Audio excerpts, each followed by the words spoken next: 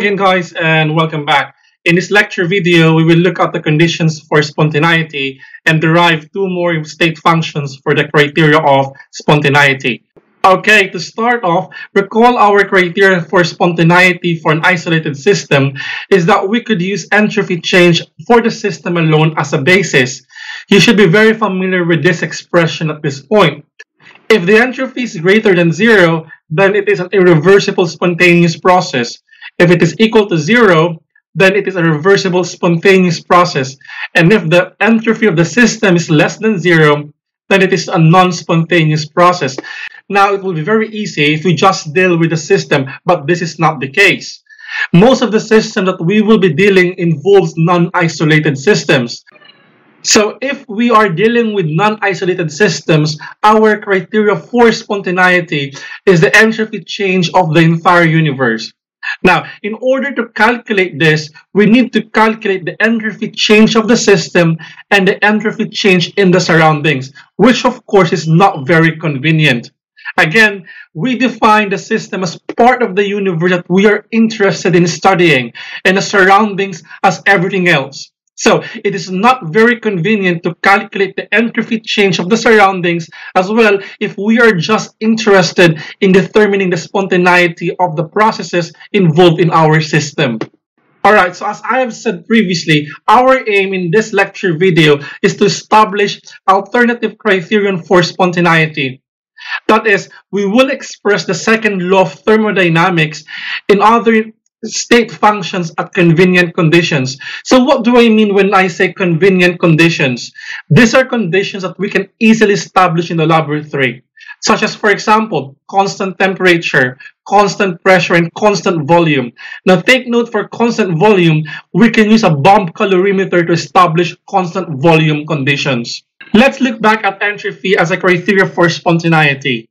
Recall if we just use entropy of system as a criteria, it only applies to isolated systems. So overall, we know that the ds for an isolated system must be greater than or equal to zero for spontaneous process. So what is exactly an isolated system? What is being kept constant? Alright, so for an isolated system, there is no exchange of energy with the surroundings, meaning the dq net of our process is zero and the dw net is also zero. Alright, so based from the first law of thermodynamics, since du is equal to dq plus dw, since all of these terms is zero, this means that the change in the internal energy is equal to zero. Hence, for an isolated system, internal energy is constant. Okay, if we have a system that involves PV work or pressure volume work, dW is defined as negative P external dV. Since dW is zero, this also implies that the change in the volume or dV is equal to zero as well. So these are the parameters that remain constant in an isolated system constant internal energy, and constant volume. In general, at constant volume and internal energy, the change of entropy is a criteria for spontaneity. For spontaneous processes, the change in the entropy or ds at constant internal energy and constant volume must be greater than or equal to zero. Again, this is for our system. Take note that this is an inconvenient equation because it is very hard to establish a constant internal energy in the laboratory. Now let's look at a more generalized criteria for spontaneity, which is the Clausius inequality. In your textbook, the Clausius inequality is written as this equation. I will rearrange this into this alternative expression. I will use this as a basis to derive for other state functions that we could use to determine if our process is spontaneous or not. Overall, dq over t must be less than or equal to ds or the change in entropy for a permissible process. I could write this equation now as dq over t minus ds is less than or equal to 0. I will then multiply this entire equation by a temperature T, which will give me this equation. dq minus TdS is less than or equal to zero. Okay, so let's recall the first law of thermodynamics. dU is equal to dq plus dW. if we have the system that involves PV work, du is equal to dq minus PdV.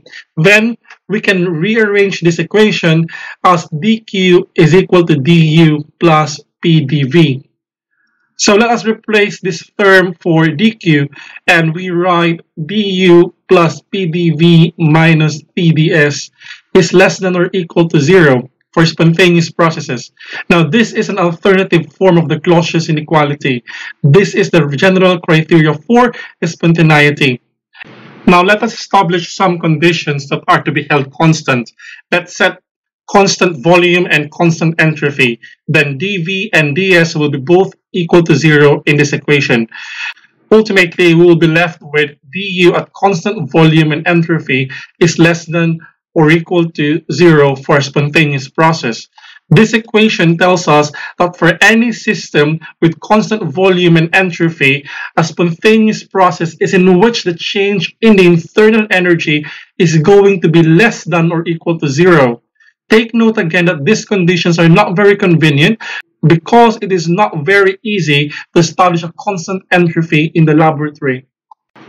Alright, so let's use enthalpy as a basis for the criteria of spontaneity. The general expression for enthalpy is H is equal to U plus PV. If we differentiate this equation, this will give us dH is equal to du plus PdV plus VdP. Take note that I've used the product rule for the PV term. I can rewrite this equation as dH minus VdP is equal to du plus PdV. We will see this in a while why I did this step. Now, let's recall that the general expression for the Clausius inequality is that du plus PdV minus TdS is less than or equal to zero for a spontaneous process. Okay, I can now substitute the du plus PdV to the Clausius inequality to give me dH minus VdP minus TdS is less than or equal to zero. Now, this equation is an alternative statement for the Clausius inequality in terms of enthalpy and changes in pressure. Okay, so just like what we did earlier, let's establish some constant condition. Let's say change in pressure and change in entropy are constants. Then the terms containing dP and ds in our equation will become zero. Thus, the final equation becomes dH at constant pressure and entropy is less than or equal to zero for spontaneous process. Again, this equation can be an alternative criteria for spontaneity. However, it is not easy to establish constant entropy and it makes this expression very inconvenient. Alright, so we have to look for alternative expressions to establish more convenient criteria for spontaneity. At this point, we cannot rely on the current state functions that we discussed such as internal energy, entropy, and enthalpy as a basis of convenient criteria for spontaneity. This means that we have to define new state functions. I will now introduce a new state function which we define as A. That is A is equal to U minus TS. When we get the differential of this equation, we have dA is equal to du minus TdS minus S dt. Now, let's recall our alternative form of the Clausius inequality, which is du plus PdV minus TdS is less than or equal to zero for a spontaneous process. We can see that some terms are similar to our differential of A, which I have highlighted in red. So now I can write this as dA plus SDT is equal to du minus T ds. I can write the Clausius inequality as dA plus SDT plus PdV is less than or equal to zero. As we did previously, let us establish constant conditions, let's say constant temperature and constant volume. Now, the, these terms in the equations will become zero. Ultimately, dA at constant temperature and volume is less than or equal to zero for spontaneous process. In this equation, we have now convenient conditions that can be held constant. It is easy to achieve constant temperature in the laboratory and constant volume can be carried out using bomb calorimeters. This new state function is known as the Helmholtz energy, uh, which is given by the symbol capital letter A. Now, the change in Helmholtz energy has to decrease for a spontaneous process as shown in this equation. Alright, so let's now define a new state function and let's call this one as G and this is equal to the enthalpy minus temperature times the entropy. Just like what we did earlier, let us take the differential of this equation. So this will be dg is equal to dh minus tds minus SDT. Now, if you notice, our DG equation contains an enthalpy term. Hence, I will use an alternative form of Clausius inequality involving an enthalpy term that we have derived earlier. That is, dH minus VDP minus TDS is less than or equal to zero. Now, notice that some terms in the Clausius inequality and in the DG equation are similar shown in red.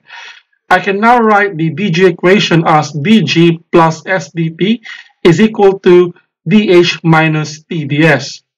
Alright, so substituting dh minus tds to the Clausius inequality will lead us to dg plus sdt minus vdp is less than or equal to zero for a spontaneous process. Now, using this equation, we can establish some constant conditions as we did earlier, such as constant temperature and constant pressure. It will be apparent that these terms will become zero and ultimately dg at constant pressure and temperature is less than or equal to zero for spontaneous processes. This new state function is called the Gibbs free energy and it is denoted by the capital letter G. Now, this criteria for spontaneity at constant pressure and temperature is very convenient. Take note that the constant pressure and temperatures are easily established inside the laboratory. Similar to Helmholtz energy, for spontaneous processes, the change in Gibbs free energy must be decreasing. Let us now summarize the different criteria for spontaneity. Let us look again at entropy. For spontaneous processes, the entropy of the universe is increasing. The equilibrium state corresponds to when entropy change is zero, and for non-spontaneous processes, this corresponds to the negative entropy change in the universe. In other words, for spontaneous processes, they are going to a state that maximizes the entropy of the universe.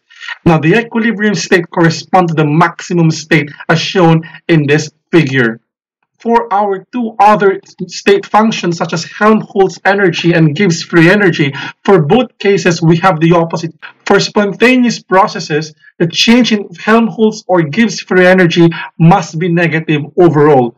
Remember that for spontaneous processes, it tends to go to a minimum as shown in this figure.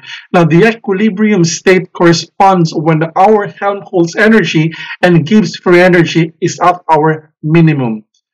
Okay, so these are the summary for the different criteria for spontaneity. Let us now understand the physical significance of the Helmholtz energy. Let us start with the first law of thermodynamics we can write it as dq is equal to dq plus dw. Okay, guys, remember that for dq and dw, they involve an inexact differential. So if we isolate the dq term, we have this equation. dq is equal to du minus dw. Again, we recall our generalized Clausius inequality as shown in this equation. I can rewrite this as ds is greater than or equal to dq over t.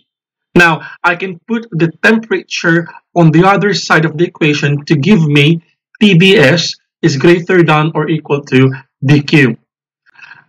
Alright, so let us now replace the first law expression into TDS is greater than or equal to du minus dw.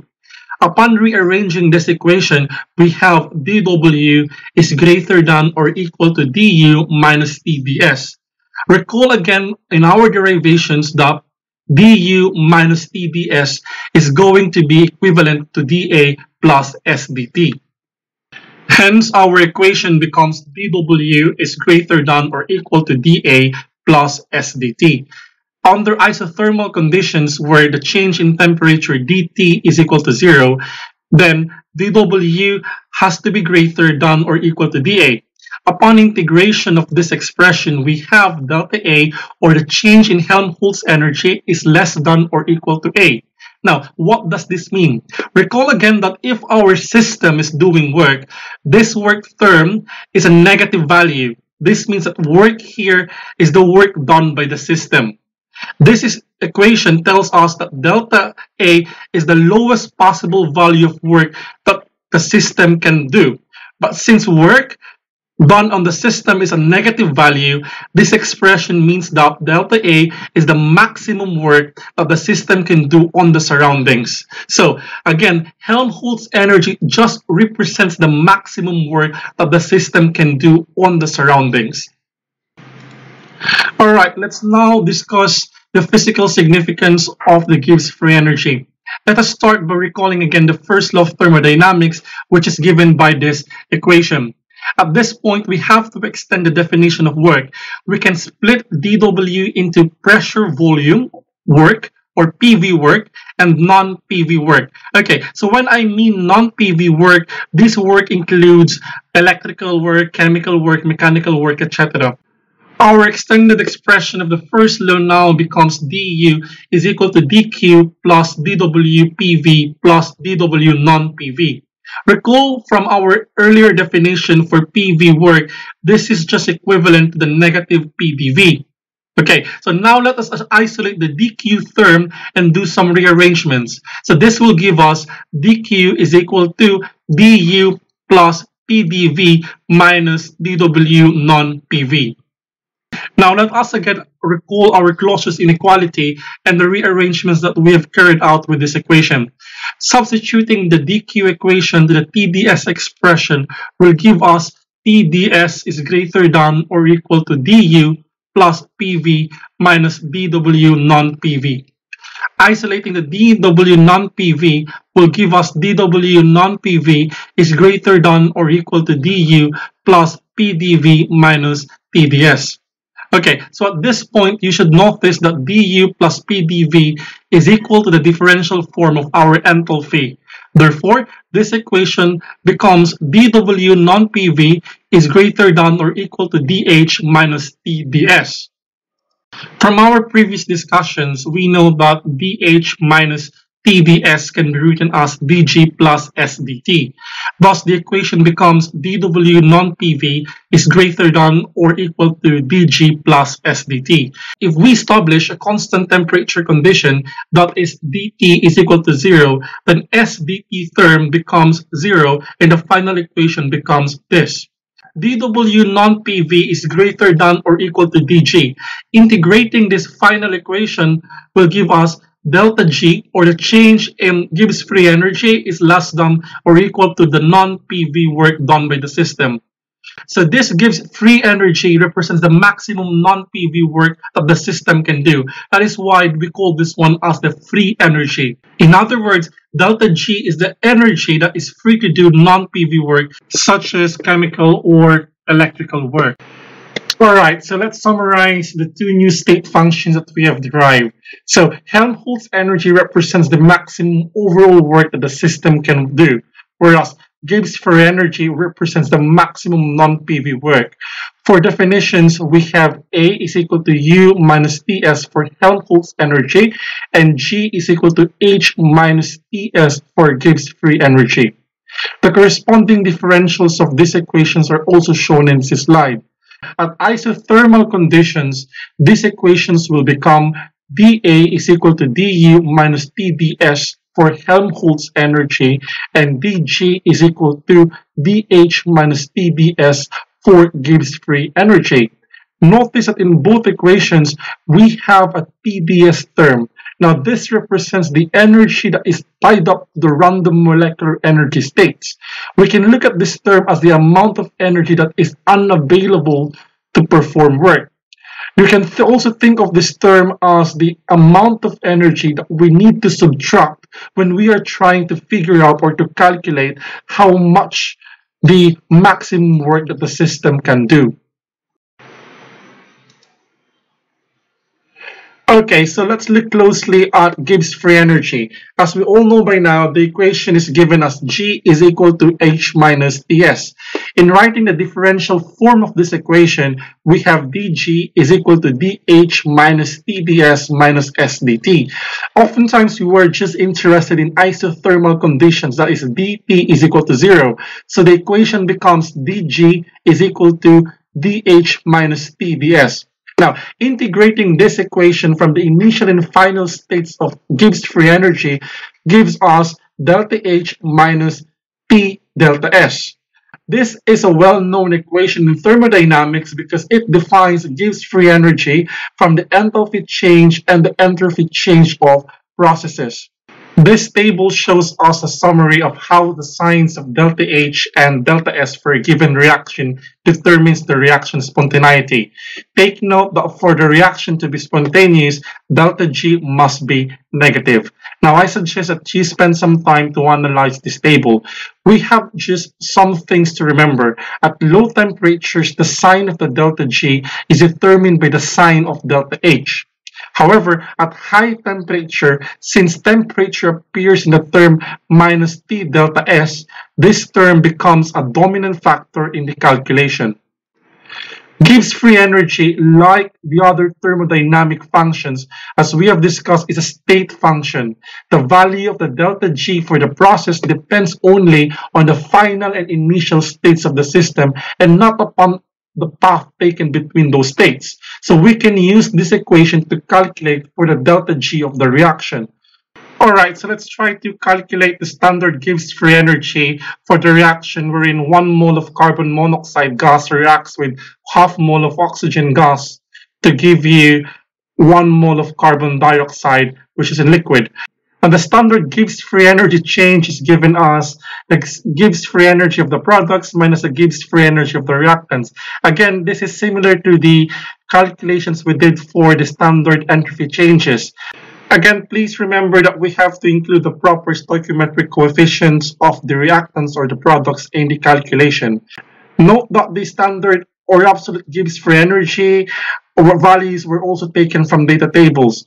Now, evaluating this equation will give us negative 257.2 kilojoules per mole as a change of the Gibbs free energy of the reaction. Remember that when a spontaneous reaction occurs, this free energy of the system declines. Alright, so we have already reached the last topic for this video and thank you very much for listening.